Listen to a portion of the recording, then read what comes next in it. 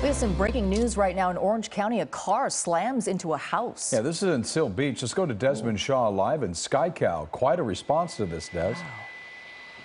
Yeah, Jeff and Susie, huge response here. 304 College Park Drive in Seal Beach here. A vehicle in a small residential street, looks like around a turn here, went right up into the driveway and slammed into the garage right here. Uh, last we had heard was that the driver of the vehicle was trapped inside. No word about any other injuries, but you can see that car went pretty deep in there. And so they may still be trying to get the driver out of the vehicle here. There is some concern that uh, it may have done some structural damage to the home as well. Uh, you see the stretcher here. They are waiting, so it really Des look like they're still trying to get that driver uh, out of this vehicle right now. Pretty scary situation uh, here in Seal Beach with uh, someone trapped inside. Jeff and Susie, back to you in the studio.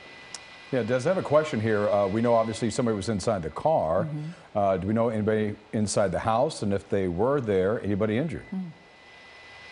Yeah, I haven't heard anything about anyone else being injured in this one. You know, hopefully uh, no one was sitting tinkering in their garage or, or anything like that. It does look like that is the garage that it went inside, but as we uh, double in here, you can uh, just see it. It looks like you know, the, the vehicle ran into a lot of stuff here, and uh, this looks like an older car, maybe a classic car here that they're having to uh, try to pry apart to uh, potentially get somebody out. I mean, look at the, the huge damage here to the stucco on the right side of the garage as well.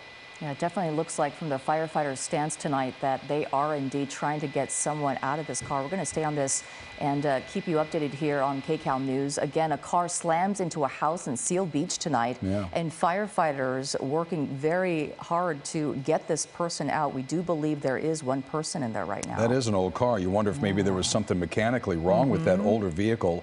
Uh, Des, if you don't mind, I would love to be able to see how this might have happened. If you could pan out and show us, you had mentioned a curve. Mm. Uh, can you give us an idea as to how that car got into that house at a weird angle? I guess there is kind of a curve there, just went right into it, huh?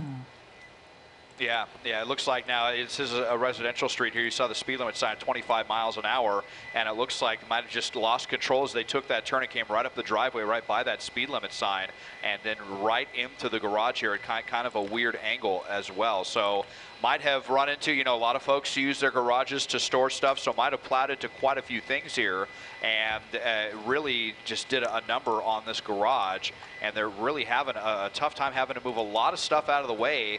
Uh, here you can see having to move some heavy equipment here, some heavy rescue equipment, it looks like, as they uh, still attempt to get someone out of this vehicle. All right, Desmond, we're going to take a quick break and uh, check back in with you and some new information from Mike Rogers on the desk as well.